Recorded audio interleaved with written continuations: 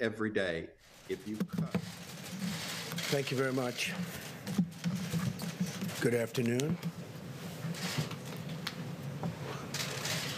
We continue to see a number of positive signs that the virus has passed its peak. It's been very devastating all over the world, 184 countries, probably more. This number was as of a week ago. Dr. Birx will walk through some of these trends in a few moments, but they're very positive trends for winning. Going to win. Going to close it out. While we mourn the tragic loss of life, and you can't mourn it any stronger than we're mourning it, the United States has produced dramatically better health outcomes than any other country, with the possible exception of Germany, and I think we're as good or better on a per capita basis, remember that, on a per capita basis, our mortality rate is far lower than other nations of Western Europe, with the lone exception of possibly Germany. This includes the UK, Switzerland, Belgium, the Netherlands, Italy, France, Spain, for example, has a mortality rate that is nearly four times that of the United States. But you don't hear that. You hear we have more death. But we're a much bigger country than any of those countries, by far. So when the fake news gets out there and they start talking about the United States as number one, but we're not number one, China's number one, just so you understand. China's number one by a lot. It's not even close. They're way ahead of us in terms of death. It's not even close. You know it. I know it, they know it, but you don't want to report it. Why? Uh, you'll have to explain that. Someday I'll explain it. Since we released the guidelines to open up America again, and this was two days ago, a number of states, led by both Democrat and Republican governors, have announced concrete steps to begin a safe, gradual, and phased opening. Texas and Vermont will allow certain businesses to open on Monday while still requiring appropriate social distancing precautions. And I can tell you the governor of Texas, Greg Abbott, he knows what he's doing. He's a great governor. He knows exactly what he's doing. Montana will begin lifting restrictions on Friday. Ohio, North Dakota, and Idaho have advised non-essential businesses to prepare for a phased opening starting May 1st. Throughout this crisis, my administration has taken unprecedented actions to rush economic relief to our citizens. As an example, you don't hear any more about ventilators. What happened to the ventilators? And now they're giving you the other. It's called testing, testing but they don't want to use all of the capacity that we've created. We have tremendous capacity. Dr. Birx will be explaining that. They know that. The governors know that. The Democrat governors know that. They're the ones that are complaining. Through the Paycheck Protection Program, we've already processed nearly $350 billion to 1.6 million small businesses across the nation to keep American workers on the payroll so we're asking the Democrats to get it done. This should be bipartisan. This should be 100% vote. And it's really been incredible. The $350 billion that's been approved is so popular, and it's keeping businesses open. They'll be open, hopefully, forever. Our swift action is directly supporting 30 million American jobs.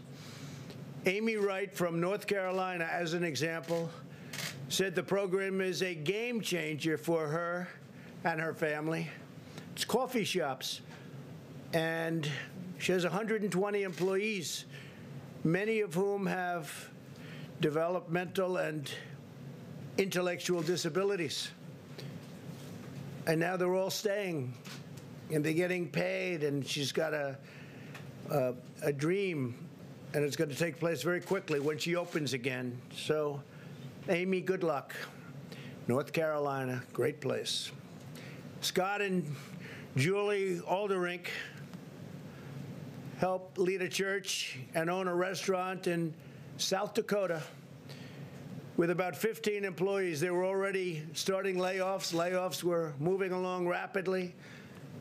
But now they've hired their employees back, and they can keep their restaurant open, and it'll be moving quickly, very quickly, as opposed to not having anybody and probably not having a place to have all of these people employed. She would have been out of business. She would have been gone. The Paycheck Protection Program funding is now fully drained. It's out. It's gone. $350 billion to small businesses. And in turn, it goes to the employees of those small businesses. Lawmakers must stop blocking these funds and replenish the program without delay. The Democrats have to come on board. I used to read that these were Democrat programs, not Republican. Seems to have switched around a lot, hasn't it, huh? Switched around a lot. The Republicans want it. I think the Democrats probably do too. But they also want other things that are unacceptable. This is about COVID. This is about the plague and what it's done to us. This isn't about extraneous things that they've been trying to get for years and that our country doesn't want them to have. As we enter the next stage of our battle, we are continuing our relentless effort to destroy the virus. My administration is taking steps to protect high risk communities by providing funding for 13,000 community health center sites and mobile medical stations in order to equip them with the most advanced and robust testing capabilities. These sites are incredible. What they can do is incredible. The job they do is incredible. These centers provide care to 28 million people living in medically underserved urban and rural regions, including many African American and Hispanic communities. We're taking care of them. And it's so important because you've all been reading about the disproportionate numbers on African American, and you're reading a little bit less about Hispanic, but likewise Hispanic communities. The numbers are disproportionate. In fact, we're doing big studies on it right now. We don't like it. Not right. Nationwide, we've now conducted over 4 million tests and Deborah will be talking about that. It's double the number conducted by any other country on earth. So that's more than two times, actually, the number conducted by any other country on earth. You hear so much about testing. What we've done is incredible in testing. And I started with an obsolete, broken system from a previous administration or administrations but I would really say administration for a different reason because testing has become so advanced over the last number of years. And we have the most advanced of all. I spoke with other nations this morning, the leaders, and they all are talking about our great testing capability, and some of them want to know what to do. What, how can they get involved because they need it for their own countries. In Louisiana, Massachusetts, Rhode Island, New York, and other hotspots, we have also tested more people per capita by far than Italy, Spain, Germany, France, and the United Kingdom, and all other major countries. So think of that. In New York, for instance, per capita testing is 6% higher than in Singapore. In fact, there's a typo. It's 67% higher. There's a big difference. I'd say there's a big difference between 6% and 60. I was looking, I said, 6% doesn't look too good. It's 67%. Good job out there. Higher than Singapore, 64% higher than South Korea, and 47% higher than Australia. So it's 67% higher than Singapore, which is a very advanced place in terms of what they're doing. My administration has also been speaking frequently with many of the governors to help them find and unlock the vast unused testing capacity that exists in their states. Dr. Birx discussed yesterday the commercial and academic laboratories in the states have tremendous unused capability, which they can use. The governor should use it. Tremendous unused capability. They're waiting for business from these governors that some of them complain. I must tell you, for the most part, we're getting along great with them, but some of them like to complain. But I, I still go back because the hardest thing of all, by far, by a factor of 20, is the ventilators. And now we're the king of ventilators. We have ventilators. We're going to be helping other countries very soon. We're going to be helping Mexico. I spoke with the president of Mexico. He's great, great guy. And uh, I told him we're going to be helping him. They desperately in Mexico need ventilators, and I told him we're going to be helping him very substantially. We're in a position to do that. We're building now thousands a week, and they're coming in rapidly, and they're very, very high quality. But we're also helping governors to develop strategies to smartly deploy their testing capacity to protect vulnerable and underserved populations while getting Americans at lower risk safely back to work.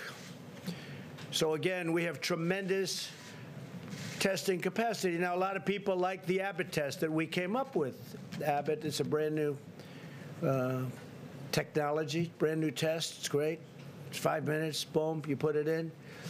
And we're making thousands of machines. Abbott is making thousands and thousands of machines, but uh, not everybody's going to get that one, but they're going to get others. We have numerous platforms, which we'll talk about in a minute.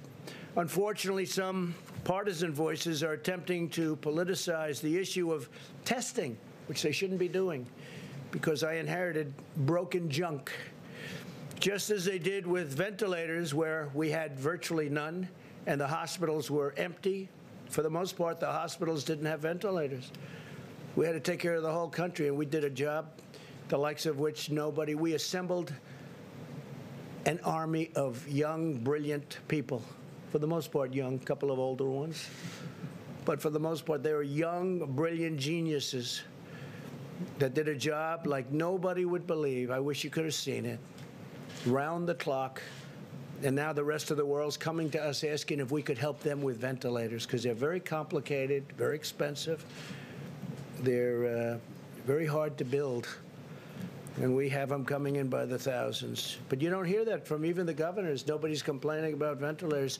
And if there was a surge, we could have ventilators to them within hours because we have in stockpile almost 10,000 ventilators. You don't hear about hospital beds. When I first started, everyone was talking, oh, hospital beds, hospital beds. The governor of New York correctly asked me for hospital beds, and we got the Army Corps of Engineers out, and they built them. He needed them. I mean, he we.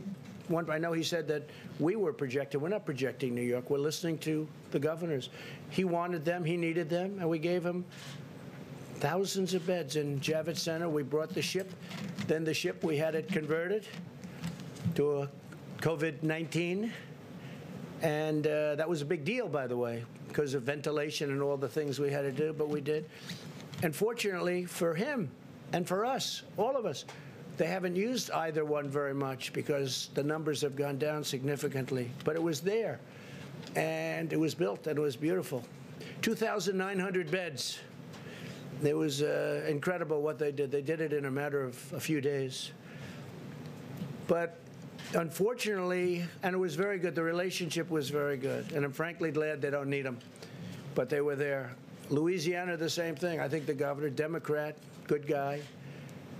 And uh, he will, uh, I think, tell you a story that we had more than enough. And I said, well, we're supposed to build one more. I called him. I said, you know, if we don't have to build this hospital, it was an additional anywhere from 500 to 1,000 beds. If you don't need it, would it be possible that we don't build it? Would like to build it someplace else or not build it at all and save money, which is okay for government too. Use it someplace else. And he called me back the next day and he said, sir, we don't need it. I said, that's great that you say that. I appreciate it. And he didn't need it. But we were ready to go. We took good care of Louisiana. We took good care of Michigan. We took good care of every place. We didn't, we didn't miss a trick. And we're in great shape on testing. We have different platforms. We actually have nine different platforms. And on Monday, we're going to be adding one that'll be nine to 10. I don't like to count on them before they're up, but we'll have anywhere from nine to 10 platforms with a tremendous ca testing capability. And uh, people can go, and uh, especially with phase one. Now, at the same time, just like with ventilators, we're building now the best ventilators. Uh, just like with ventilators, our testing is getting better and better. I took the first test. The first test was not pleasant. This was not a pleasant thing. I said, You got to be kidding to the doctor. You got to be kidding. Up your nose, and then we hang a right, and it goes down here, and then we'll wiggle it around here under your eye, and then we'll pull it out, and we'll say, I said, No, that's, it's, there's no way that can happen. Is that the way it goes? You sure? This was a very unpleasant test.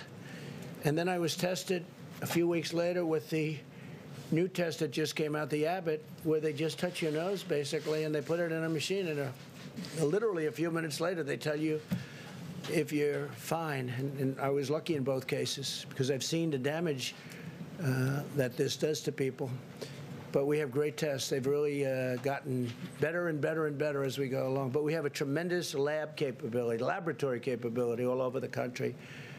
And for some reason, the governors, uh, they're not, a lot of them are, but some of the governors like to complain and they're not using it. We have tremendous capability. We're ready for them.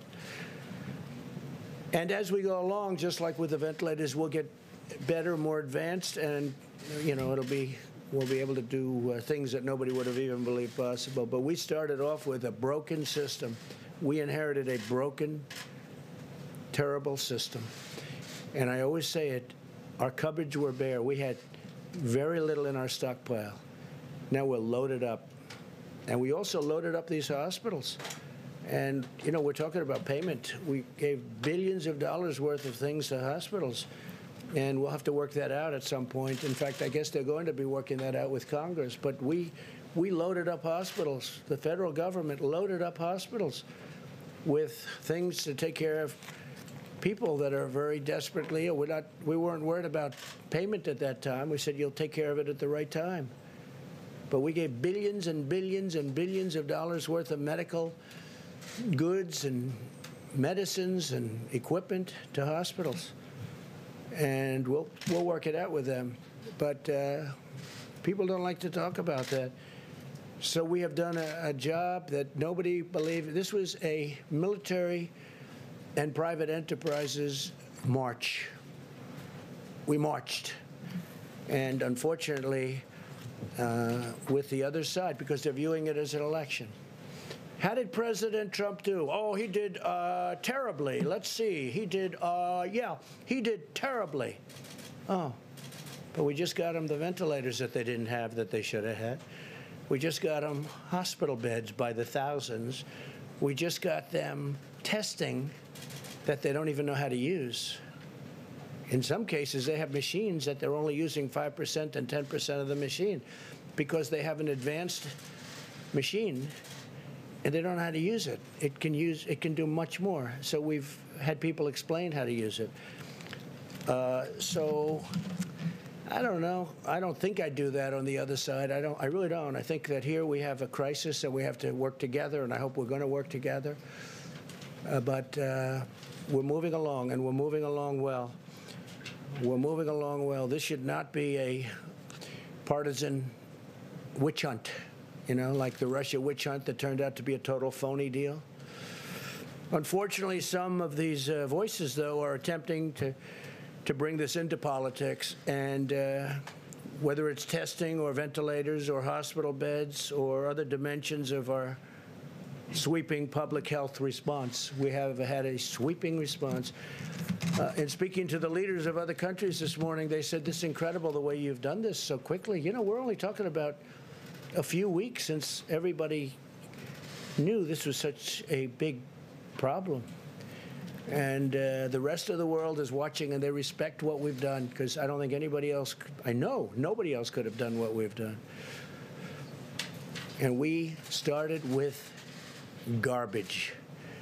As our expert said yesterday, America's testing capability and capacity is fully sufficient to begin opening up the country totally.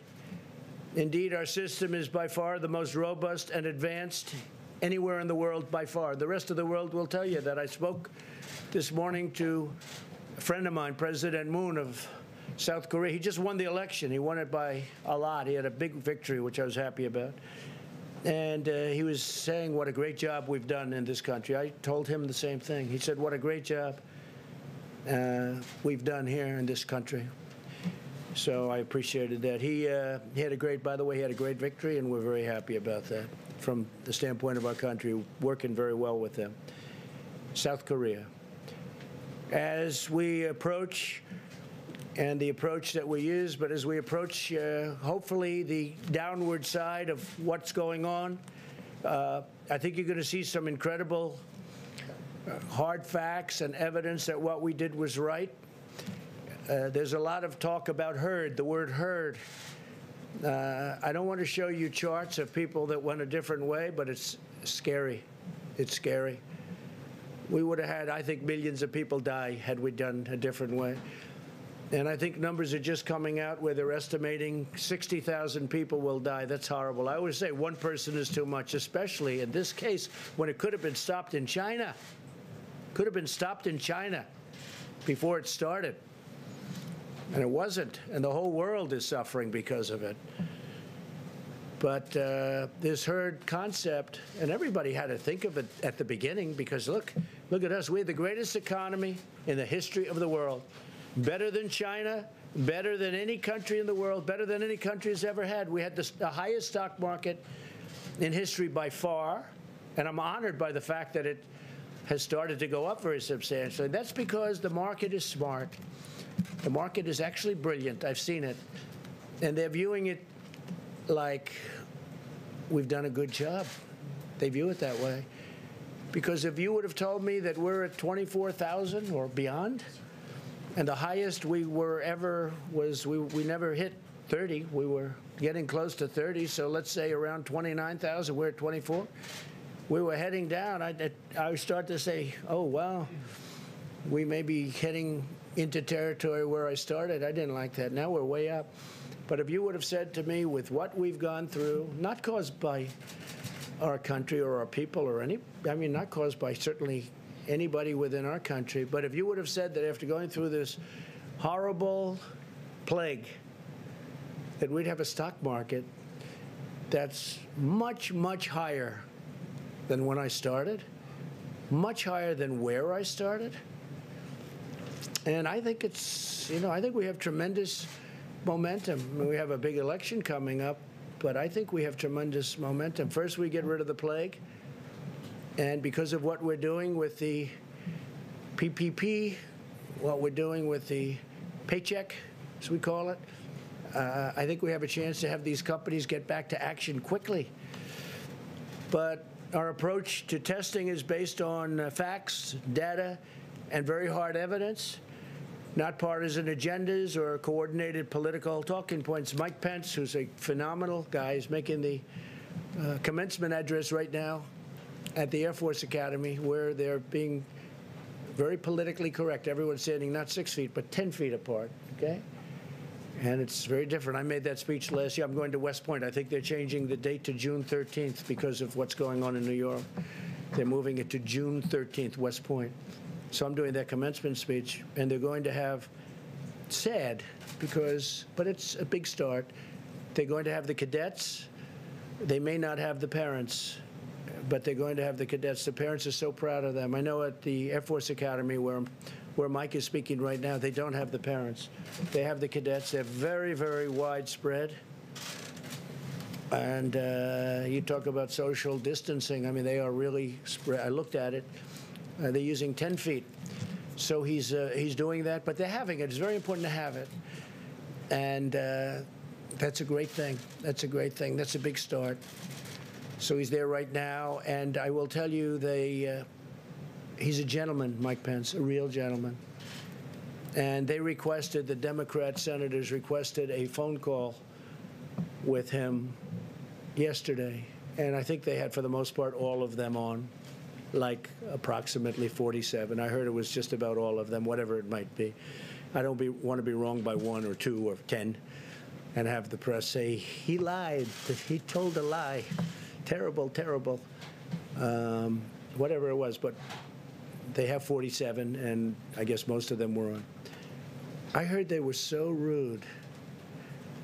I used a term today, I said rude and nasty, but I heard they were so rude. No matter what he said, which was all very positive in terms of winning. this battle against the invisible enemy. No matter what he said, they were fresh, they were nasty, and it was, I heard, just a terrible thing. And I said, Mike, that's politics. That's what it is. If we came into this room today and said, the battle is over, we have won, it's 100% gone, the Democrats would say the president has done a horrible job. He has done a disgraceful job. It is a shame how bad he is. You know, it's, it's, this is the talking points. This is political, and it would be nice not to have that, especially when we've done the job we've done. I mean, all you have to do is look at the big, the big V for victory or V for ventilator. Take a look at it. Everybody said they had us on that. They had us. They thought they had us, but we got them done at numbers that nobody would have believed. And we did use our act, our production act, and we used it, but we didn't use it. We didn't need it like a hammer. All we had to do, for the most part, we used it actually in a number of cases, but for the most part, all we had to do is talk about it. All we had to do is say, we're going to use it if you don't do this. And everybody was, you know, for the most part, good. We used it a couple of times because it didn't work out the easy way, but it worked out the hard way. But whether it was masks or ventilators, it was incredible what we've been able to do. So this is a very critical time for the American people, and the American people deserve real information and responsible and thoughtful dialogue from their elected leaders and from the media. Uh, the media's been some very honest, but some very dishonest. You know that. You know that. I mean, I even read a story where Mark Meadows, tough guy, he was crying. He was crying. This was a Maggie Haberman. You know, she won a Pulitzer Prize for her coverage of Russia, but she was wrong in Russia. So was everyone else. They should all give back their Pulitzer Prizes. In fact, it turned out that the crime was committed by the other side. The crime was not committed by this side. It was committed by the other side, a bunch of bad people. You saw the reports coming out over the last two weeks. They got caught. So Maggie Haberman gets a Pulitzer Prize. She's a third-rate reporter, New York Times. And we put her name up here last week. You saw that. People thought it was a commercial. It wasn't a commercial. It's like a commercial, but it wasn't a commercial. It was just clips. And because we exposed her as being a bad reporter, what happened is she came out and said, Mark Meadows was crying, and they made it sound. I said, Mark, and it's okay if he did. I wouldn't, you know, look. But I think he was crying probably uh, really for the wrong reason. They had it down. But he's not a crier. And if he was, I've known criers. I could tell you people that you know that are very famous. They cry, and that's okay too. But it was a nasty story in so many ways. It was fake news. And she only did it because we exposed her for being a terrible, dishonest reporter. She is. I've known her for a long while. I haven't spoken to her a long time. I made the mistake. I take a picture with her at the desk a long time ago. Every time she does a story, if I say, I haven't spoken to her in long, many, many, many months, maybe years, I don't speak to her. She's fake. A lot of people are fake. A lot of people, we get a lot of fake people. But what happens is she writes this story as retribution, puts it in the New York Times, and the New York Times is a very dishonest newspaper. It's my opinion. It's not an opinion. It's actually, from my standpoint, you know, the, the very hard thing to figure, though, most people wouldn't know that, but I know because I know the facts. And they make up, I, I said it today, they make up words. Uh, sources say, most often used, sources say. You know what sources say means? Sources say means they have nobody, and they make it up. Okay? And they have a few other type statements that mean the same thing. But sources say is the most often used expression in the Washington Post, New York Times especially, CNN, fake news, CNN. They should really be mandated, and I mean mandated, to use a name. If there's a source, use a name. Say that Kayleigh, Kayleigh McEnany said, or somebody, and you'd find out that the uh, Number one, the source wouldn't say it. The sources don't exist. I don't believe the sources exist. And I try and tell this. You know, the beautiful thing about doing these conferences is that we have tremendous numbers of viewers, and I'm able to reach the viewers without having to go through fake news where they make a good story into a bad story. So, uh, with all of that, it's been an incredible period of time. We've done a fantastic job with the talk of other nations. The leaders of other nations are calling us for help. They're calling us for equipment. They're calling us for testing capacities. Now, with the testing, we are going further. Deborah's going to talk about that now. With the testing, we have some other tests coming up that are going to be, I think, phenomenal. I think they're going to blow away everything as soon as they come out, and we're going to get them out as soon as possible. But I'd like to ask uh, Dr. Birx to come up and say a few words about where we've come, how far we've come, and more importantly, where we're going from this point, because honestly, it's, it's quite amazing. Thank you very much. Thank you, Mr. President. If we could have the first slide. Um, I wanted to give you an update on where we are as states and as counties and as cities. Um, I know you all are watching carefully. The numbers have shifted over the last few days. Um, what happens when nations, um, when states change the reporting from pr- confirmed to probable, so now all probable cases are included. They had to add them back in.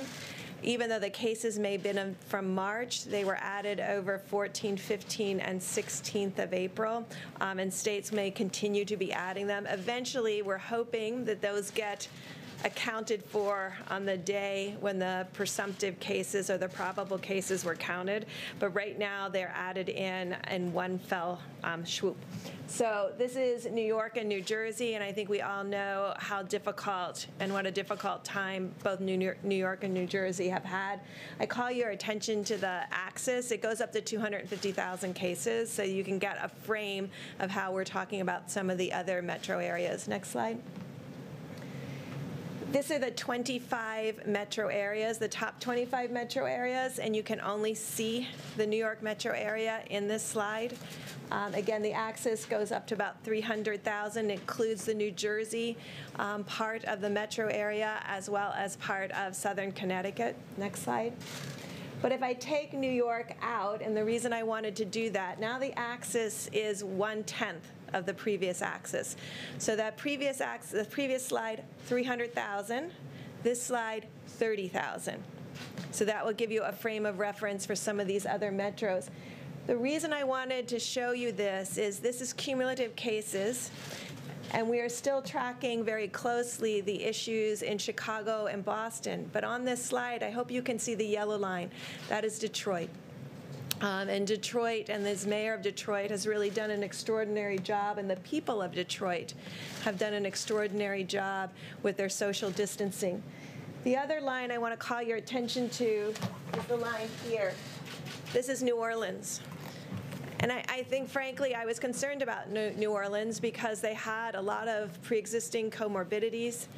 Um, they only they have two or three major hospitals, but a large cover a very large area of geographic area.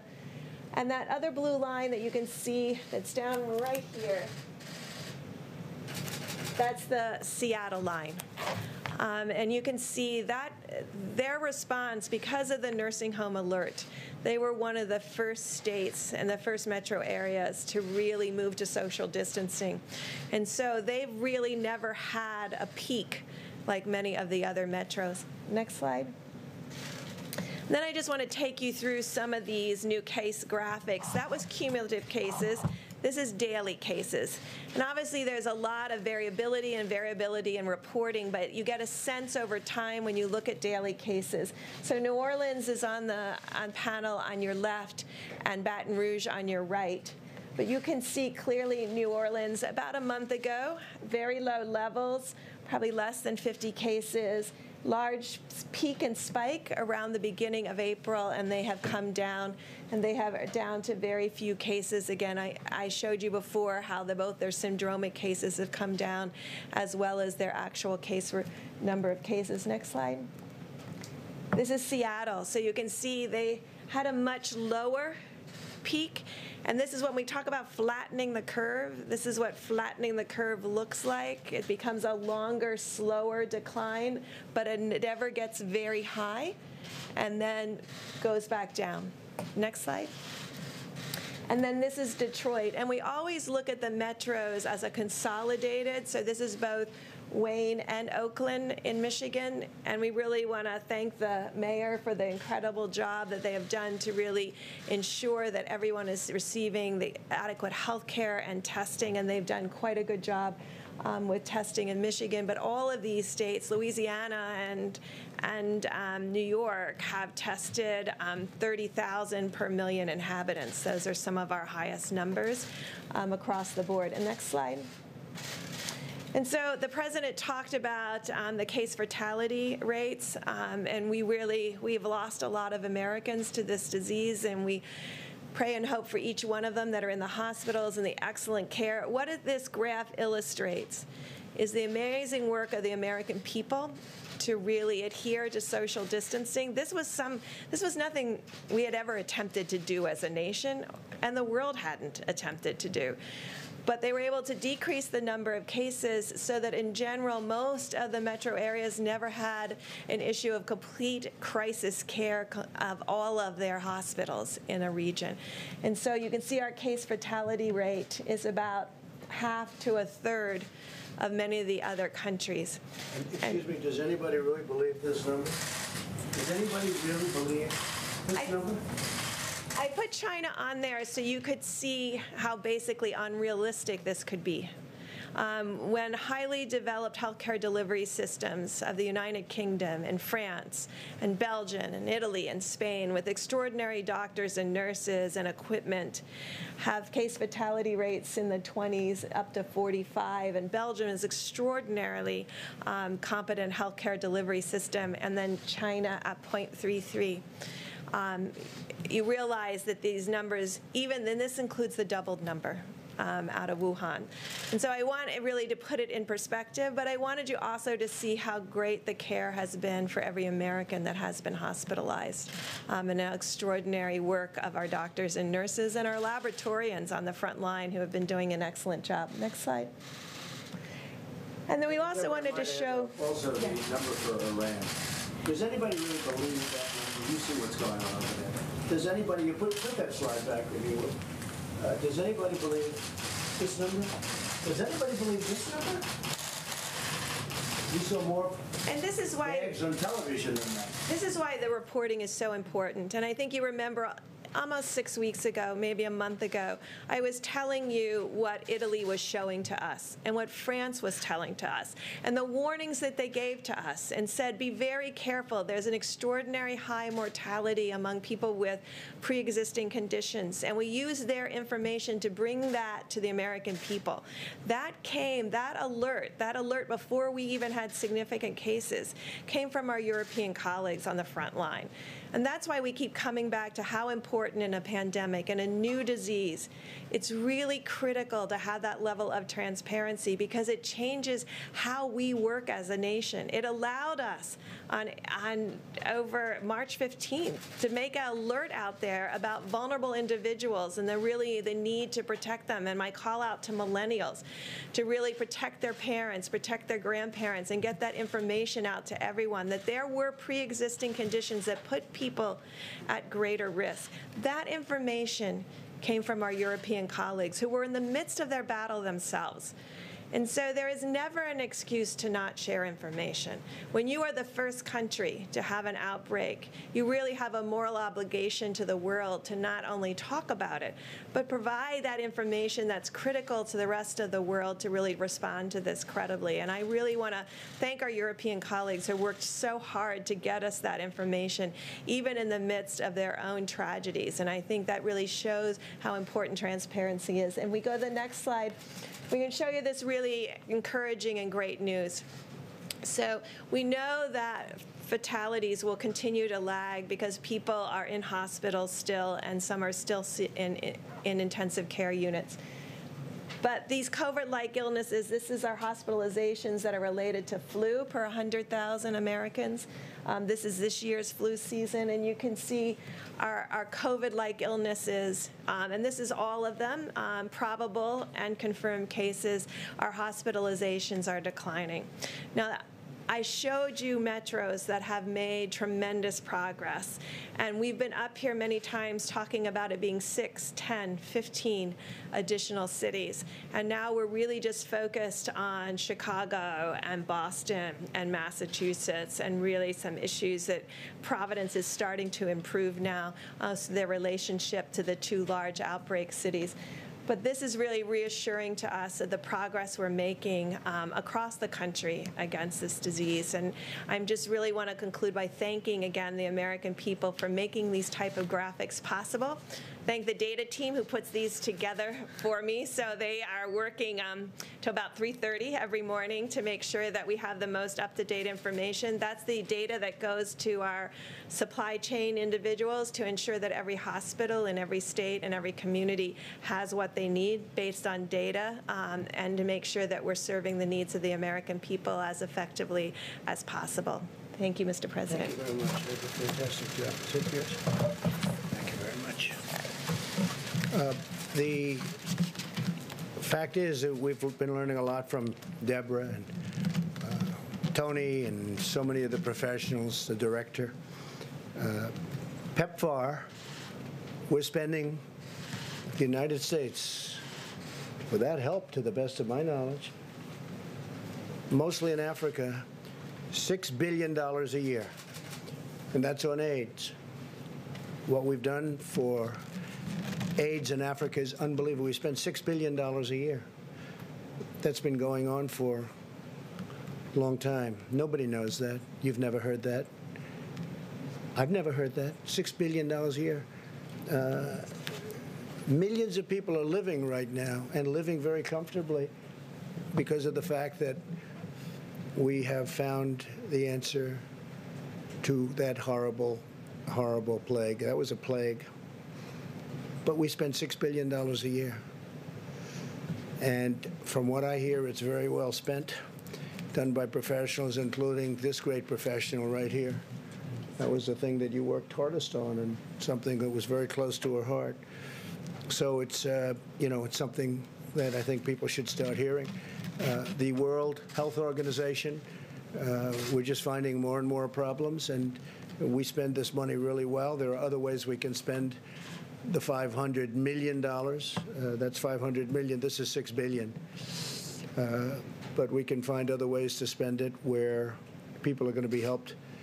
We think at a much greater, in a much greater way. We're doing some research on certain people that take a lot of credit for what they do, and uh, NIH is giving away a lot of money, a lot of money. We give away for years, for many years, they give away a lot of money. And uh, some people complain and some people don't. Some people are extremely happy. So we're looking into that also. They're giving away approximately, as I understand it, recently more than $32 billion a year. 32 billion. And uh, so we've been looking at that for a while, and we're going to be having some statements to be made about that. $32 billion a year. It's a lot of money, and uh, we want to make sure it's being spent wisely, and we've been doing that, by the way, and uh, we'll have some statements on that. And those are much bigger numbers than what we're talking about with national. If you if you look at, with the uh, with our friends from wherever they come from, you know, 500, 500 million is a lot of money, but it's not a lot compared to the kind of money that we give out. I think uh, over the years, it's been averaging about $32 billion. 32 billion. So uh, we've had our eye on that one for a while. We also uh, talked about the lab in China, where I guess 3.7 million was given some time ago, and we're looking at that very closely. Chief of Staff has that pretty much under control, uh, but it's money that, too bad it got spent there. But that was spent, uh, what year was that, Mark? It was four or five years ago Over the last six years. six years ago approximately. So we're looking at that. And that's the lab that people are talking about. All right, so we're looking at a lot of things. Uh, There's tremendous waste in our government. We found it in many different ways and in many different forms. And uh, this is one of them. This is one of them. We can spend, I was talking to Dr. Birx, we can spend $500 million dollars, using all of it in a much more efficient manner if we're, if we choose to do that. And uh, it'll be to the good of many more people than are getting it right now. But you look at the mistakes that were made, I mean, so late, long after I said we have to close off our country, they were actually against our closing off our country to China. When I did that in January, they were against that. They didn't like the idea of closing off our country. They said it was a bad thing to do, actually. And they've since taken that back. But it was a very lucky thing that we did it. Very lucky. We would have had numbers that were very significantly greater. Tony Fauci said that. He said uh, it would have been very significantly greater had we not done that. So we made a lot of moves that were good moves, but it's still a very depressing subject because it's a lot of death. And if it was stopped very early on at the source before it started blowing into these proportions, you have 184 countries that would have been in a lot better shape. But our country is getting back, and I expect that we're going to be bigger, better, and stronger than ever before. I will take a few questions. Jeff? Uh, Mr. President, you've mentioned, and the doctor mentioned China a few times today, uh, that clearly suggesting that the data has not been good. And Well, you tell me, do you think that data is good when you see that? Do you think that, do you think that's correct, okay? Do you honestly believe that's correct? dramatic contrast. So my question for you, Dramatic? Yeah, that's dramatic. so my question for you, sir, is Why didn't the, why didn't the press, why didn't you people figure that out, though? Why do we have to put up a chart? It's, it, the number is impossible, it's an impossible number to hit. But why haven't you come up and said that? The question, sir, is, is China now cooperating with the United States to figure out what happened, and what do you want from them now? Well, they said they're doing an investigation, that they're doing an investigation. So let's see what happens with their investigation, but we're doing investigations also. Yeah, go ahead, please. Thank you, sir. Uh, You've spoken, we heard Dr. Birx a moment ago say that uh, every country has a responsibility to tell the rest of the world what's going on. You've talked repeatedly about how this could have been stopped in the past. I know you don't want to telegraph what you would do, but do you think that there should be some consequences if in the end, you know, China was responsible for all of this? Well, if they were knowingly responsible, certainly. If they did, if it was a mistake, a mistake is a mistake. But if they were knowingly responsible, yeah, then there should be consequences. Uh, you're talking about, you know, potentially lives like nobody's seen since 1917. And, uh, you know, the other thing, had we not done uh, what we did in terms of closing, because there is that concept of let's let it ride.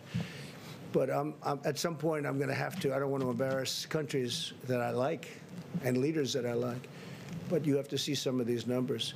In, in my opinion, so we're talking about maybe 60,000 or so, that's a lot of people, but that's 100,000 was the minimum we thought that we could get to, and we, we will be lower than that number, uh, anywhere from 100 to 220,000 people. But I, I really believe it could have been billions of people had we not done what we did. We made a lot of good decisions, but one of those things. Go ahead. Have you ruled out that this was a, uh, an unknowing uh, situation? Have you I haven't that ruled out anything. I want to look at the facts as they come in. No, I, I want to look at the facts, please. Thank you, sir. Thank you very much, Mr. President.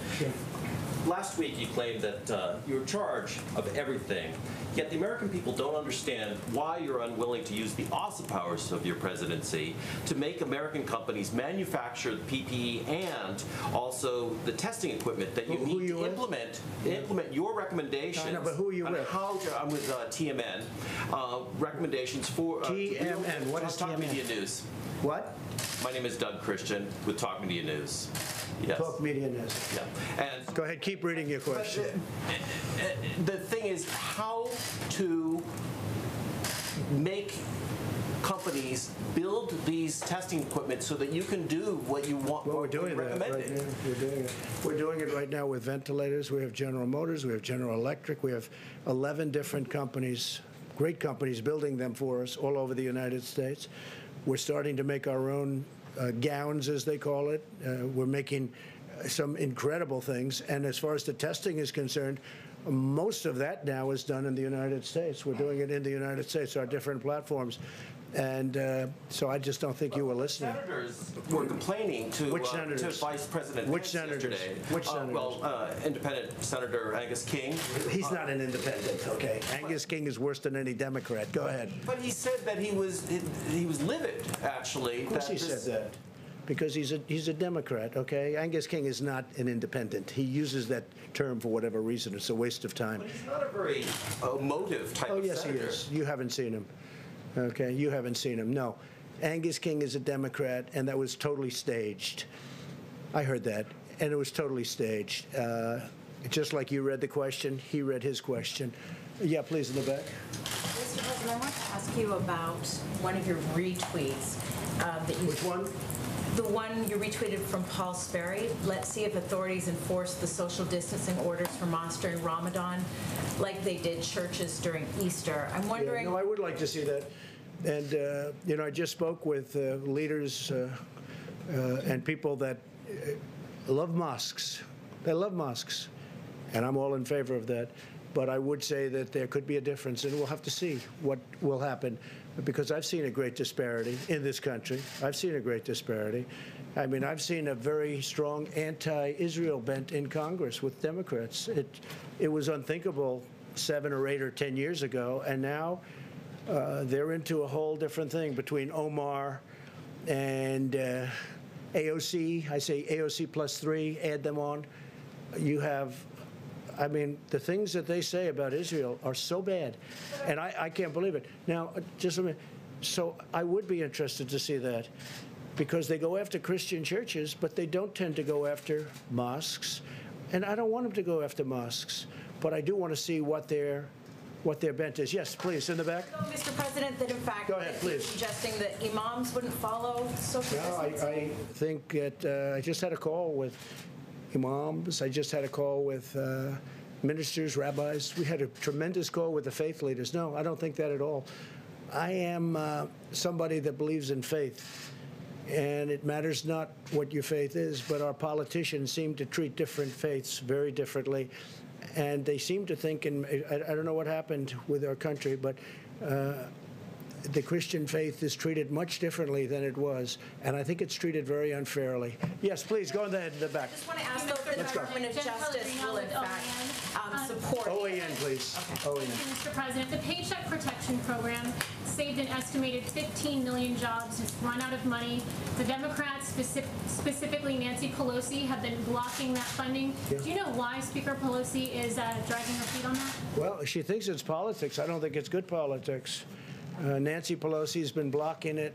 Uh, Schumer's been blocking it. And I think they think it's good politics. I don't think it's good politics. I think it's bad politics, but I don't care about the politics. It's so great for our country because we're going to have all of these companies that are, you know, it's a bigger employer. Let's say it's the same, but essentially it's the same power, all of these small businesses added together as the big companies. It's about 50 50. And it's so important. And they will be scattered if we weren't able to do what we're doing. And essentially, we're giving these small businesses that won't make it, they can't because they're closed. We're giving them money to take care of their employees so when we open, they can get back into business. It's been a very popular plan, even with Democrats. I think it basically passed unanimously twice, the first section, which is 350 billion. So we're trying to get 250. Nancy Pelosi is blocking it. She sits in her house in San Francisco overlooking the ocean, and she doesn't want to come back. She doesn't want to come back. She doesn't want to come back to D.C. She's got to get back and get this thing approved. It's very important. Uh, please, go ahead. Um, Dr. Birx, if I may, um, you again praised the American people for doing their bit over the past few weeks. But what goes through your mind when you see photographs of crowded beaches in Florida? Is that a, a concern for when we start seeing some of these restrictions being lifted? Described, we go metro by metro, county by county, and so I'd have to link that with a specific county and look at their case rates.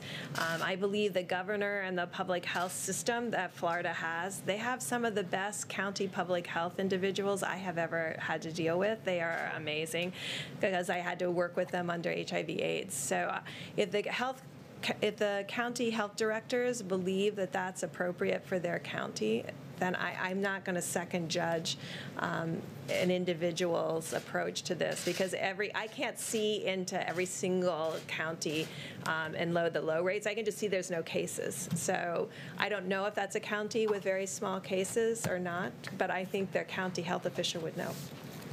And many of the counties, as you know, are really free of this horrible uh, enemy. So uh, we're opening up. You'll, you'll be seeing a lot of this country start to open up fairly quickly. Yes, please. Thank you, Mr. President. Um, You mentioned the importance of social distancing, but for example, Stephen Moore, someone you appointed uh, to your Open the Country task force, is organizing a protest in Wisconsin, but aren't they in a sense protesting your very own guidelines? Well, we have a flexibility. I didn't see what Stephen said. I can tell you he's a very good economist. He's been calling shots He right. said, he said, uh, sorry, um, he said we need to be the Rosa Parks of government injustices. Well, there is a lot of injustice. When you look at uh, Virginia, where they want to take your guns away, if they want to violate your Second Amendment, when you look at, I mean, look, I'm getting along very nicely with the governor of Michigan, but she has things don't buy paint, don't buy roses, don't buy, I mean, she's got all these crazy things. Uh, I really believe somebody sitting in their boat in a lake should be okay. They shouldn't arrest people some of them are being unreasonable. I really believe that. They're being unreasonable. But I think Virginia is a great case, though, because they're, they're using this, they're trying to take your guns away in Virginia. And if people in Virginia aren't, aren't careful, that's what's going to happen to them. So, yeah, I mean, I could see where he's coming from. I think it's a strong statement, strong statement, because hopefully this will be over very soon for all of us. Uh, but some have gotten carried away. They have absolutely gotten carried away. Some of these protesters are protesting your social distancing guidelines. I don't know. I mean, I notice uh, there are a lot of protests out there. And uh, I, I just think that some of the governors have gotten carried away. You know, we have a lot of people that don't have to be told to do what they're doing. They've been really um, doing everything we've asked them. We have a few states where, frankly, uh, I spoke to the governors and I could have gotten them to do, if I wanted to do what uh, would have been perhaps politically correct. But they've been doing incredibly anyway. And as one of them said, everybody's doing exactly the same. In fact, our record is better than states where they're under a mandate or, you know, where they've agreed to do certain things. Now, we have some great states out there. We have incredible people in our country. And for the most part, that it's a strong statement, but I understand where he's coming from. And I think one of the greats would be uh, one of the really important places that people really have to start looking at is what's going on in Virginia, because that's a mess with a government, with really a governor that's under siege anyway. Yeah, please. No, with the with the beautiful head of white hair. Go ahead. I'll, I'll tell you if I like his hair in about a minute if, after he asks the question. Lou Vogel, the Wall Street Journal. Uh, uh, On that point, though, does the tweeting about, in the case of Virginia, linking the Second Amendment to some of these issues about lifting some of these restrictions in these states, Yeah. not uh, potentially pose a a concern for the governors and civil unrest and potentially in those other places? I have a second question, too. Well, I think uh, just for that question, I think that's an easy one. That's not even politics. We're entitled to a Second Amendment, and he's trying to take the Second Amendment, meaning that state is trying to take the Democrats in that state. The Republicans are fighting it. They're trying to take that that Second Amendment right, that, that Second Amendment right away. To me, that's liberty. That's uh, when I say liberate Virginia, I would say liberate Virginia when that kind of thing happens. And where does it all stop? So I think it's a very good analogy. Go ahead. Well, I'm just Sure, I mean, is this the right time to kind of bring in a Second Amendment issue? I think when they talk about taking your guns away, and if you notice, uh, at the beginning of this pandemic, there were more guns sold, I think, than at almost any time in history. Because so it's obviously a big issue, and then you have them working and signing documents trying to take your your Second Amendment away, essentially. So I, I do think it's an appropriate time to bring it up. Go ahead. Go ahead. Second. This past week, after kind of an extraordinary slew of events from adversaries, North Korea, Russia, Yeah. China, and Iran, all uh, kind of pushing back on U.S. policy or toying with U.S. military forces. What's your message for some of these countries who may be trying to take advantage? I don't, I don't see it. No, I don't see it. We had a very good relationship with Russia. We worked on the oil deal together. I was with, uh, on, uh, by telephone, uh, King of Saudi Arabia and the President of Russia. Vladimir Putin. We worked out a deal on oil. That was a very important deal to them and to us and to Saudi Arabia. It was in a deadlock. You know it. You covered it very well. Actually, Wall Street Journal covered that very well. Uh, I worked with Putin and with the king on that, and uh, President Putin was a total gentleman, and it was very important to get that done. And the king was great, and we actually had to bring in Mexico because Mexico was a lone holdout, and they showed great flexibility. You know the story. No, I think we're doing uh, fine. Yeah, sure. It's uh, uh, North Korea. I see they're testing short-range missiles, and you know, been doing it a long time. Uh, I received a nice note from him recently. It was a nice note. I think we're doing fine. Look, if I wasn't elected, you would right now be at war with North Korea. Okay, I'll tell you for your people that don't understand the world and they don't understand how life works. If I wasn't elected, you would right now. Maybe the war would be over. Hopefully with a victory. But if you remember when I first came in, we didn't have ammunition. Not a good way to fight a war. President Obama left us no ammunition, okay? And he left us virtually no medical and ventilators. He left us, the cupboard was dry, right? The cupboard was dry. No, uh, I think right now you'd be at war, essentially, in some form, be over, it would be raging with North Korea if I weren't president. And we're doing just fine with North Korea, just fine. Let's see how it all ends up. You know, in the meantime, they said, oh, Trump's given up. And then they said, oh, really, what's he given up? And they said, I don't know. Then they said, he met. Oh, I met, I met. No, I have a good relationship with Kim Jong-un. That's not a bad thing to have a good relationship. Obama wanted a relationship. He wouldn't meet with Obama. Wouldn't meet with him. Okay, have a good relationship with him. We met at the line. I stepped over the line. The first time anything like that's ever. It's all good. It's just, it's good. But when they say, the stupid people, I call them stupid people, or the haters, they say Trump's given up so much. Really? I've actually increased the sanctions. China's been very good on the border. In fact, right now the border is stone cold closed between China and North Korea. Our relationship with China was good until they did this. Once we found out about this, once we found out, look, we just made a trade deal with China's going to have to buy 250 billion dollars a year in our product, 50 billion from the farmers, 40 to 50 billion from the farmers. Uh, the relationship was good when we were signing that, but then all of a sudden you hear about this. So it's a big, it's a big difference. You know, the question was asked, would you be angry at China? Well, the answer might very well be a very resounding yes, but it depends. Was it a mistake that got out of control, or was it done deliberately? Okay, there's a big difference between those two. In either event, they should have let us go in. You know, we asked to go in very early, and they didn't want us in. I think they were embarrassed. I think they knew it was something bad, and I think they were embarrassed. But, uh, you know, no, I think we're doing very well. Well, so you said Russia, you said China, you said North Korea, Iran. When I came in, Iran was a terror. We had 82 points of fighting. We had 18 points of major confliction. The first week, I said, tell me about Iran. Sir, we have 18 points of confliction, meaning uh, Yemen, Syria, uh, all Iraq. They're going into Iraq all over the place. They're a much different nation right now. I stopped that horrible deal, horrible deal, and they want to talk, except that Kerry violated the Logan Act. He made the deal, and he doesn't want them to make a deal because I would have made a deal, in my opinion, except that John Kerry, when he, who made the deal originally, which was a stupid deal to make, gave him 150 billion dollars, gave him 1.8 billion in cash, in green. That would be more than this room 10 times with hundred dollar bills. That you could fill up this room 10 times with hundred dollar bills, and it's not that small a room. And I say he violated the Logan Act. I think it was a major violation. I think we would have had a deal if it wasn't for John Kerry. But he doesn't want to be number one embarrassed. Number two, he said, let's wait till after the election. Maybe Sleepy Joe Biden's going to win. And if Sleepy Joe Biden wins, you'll own the United States. And China will own the United States. China's paid us, you know, from the Wall Street Journal, hundreds of billions of dollars. Is that right? Tariffs. And we gave a lot of that money, a small percentage, but a lot of money to the farmers. And it kept the farmers going great. Right? But hundreds, we're, get, we're getting tens of billions of dollars in tariffs. And by the way, for those of you that say, oh, we're paying, China devalued their currency in order to pay these. We didn't pay. China paid.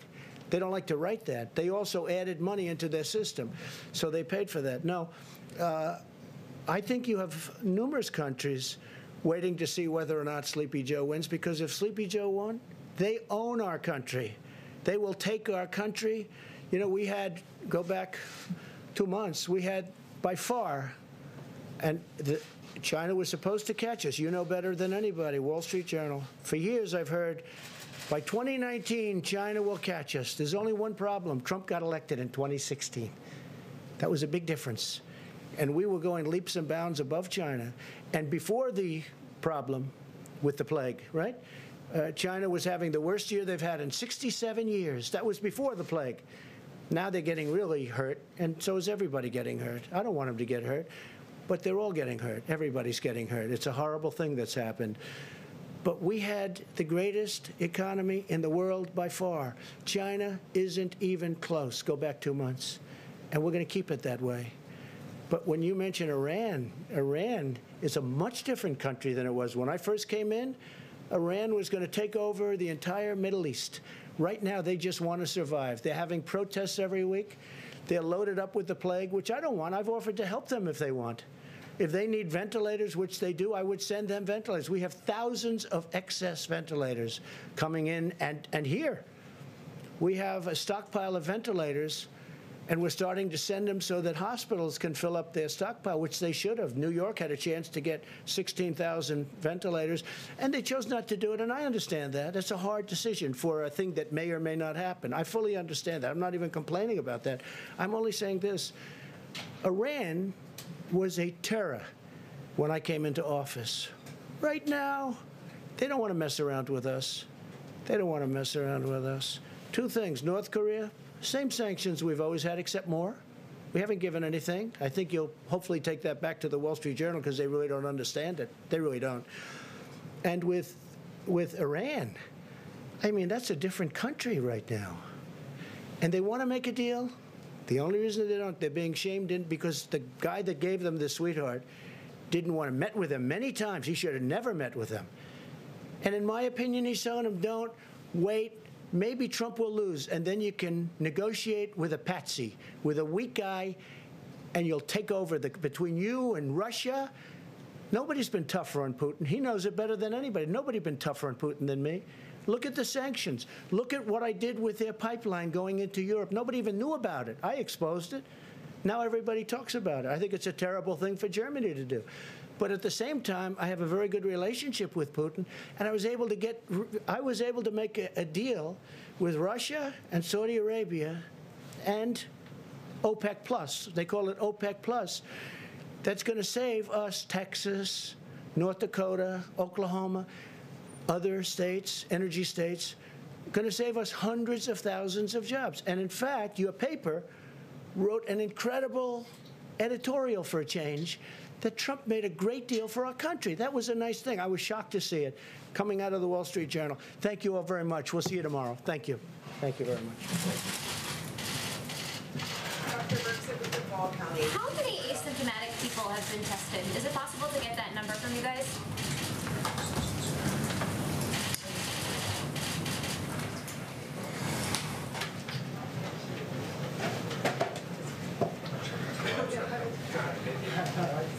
It was like making C-SPAN has round-the-clock coverage of the federal response to the coronavirus pandemic, and it's all available on demand